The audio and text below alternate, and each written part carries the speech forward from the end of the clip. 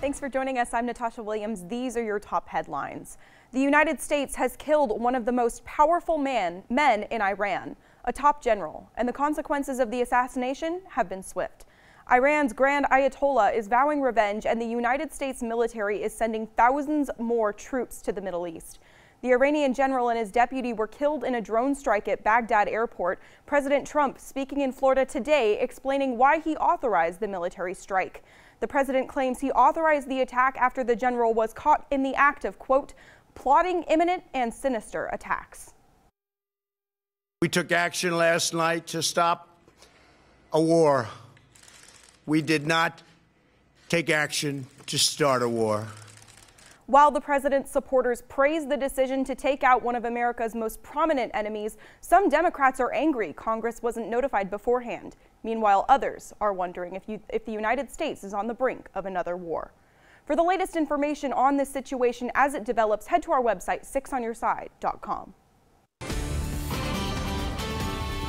Now, the On Your Side forecast. Treasure Valley, here's a look at what you could expect for your high temperatures on Saturday at 6 a.m. We're going to be starting off at 40 degrees, and it's going to stick around until about 10 a.m. where we see a slight increase towards 43 degrees come 12.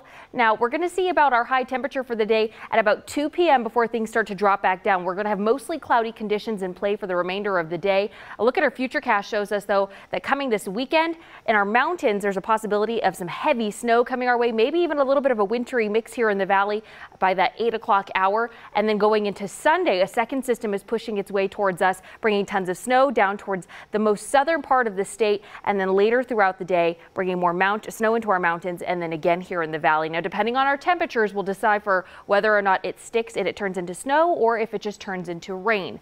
A quick look at that extended forecast shows you, though, that we might be seeing more of that wintry mix, possibly just straight rain because those temperatures are just too warm for Saturday and Sunday. 32 degrees is where we typically see snow sticking. And then Monday and Tuesday, things also looking clear with about a 40% chance moving in on Wednesday with some more snow.